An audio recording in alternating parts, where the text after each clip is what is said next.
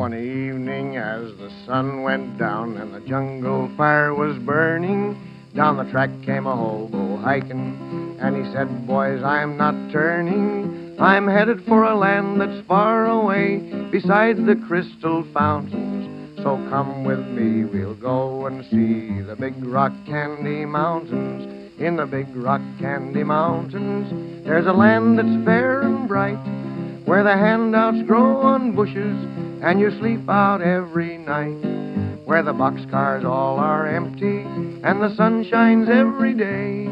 On the birds and the bees and the cigarette trees, the lemonade springs where the bluebird sings in the bleak rock candy mountain.